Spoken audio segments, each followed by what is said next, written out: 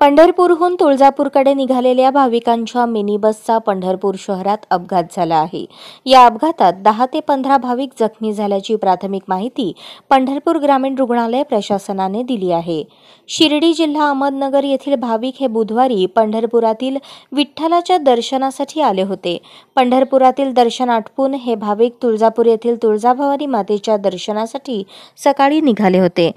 मात्र पंढरपूर शहरातील तीन रस्ता चौकात भाविकांची मिनी बस पलटी झाली. यात चालक व एका भाविकाला जास्त मार लागल्याने ते दोघे जखमी झाले आहेत. अन्य भाविक किरकोळ जखमी झाल्याचे जिल्हा रुग्णालय प्रशासनाने सांगितले.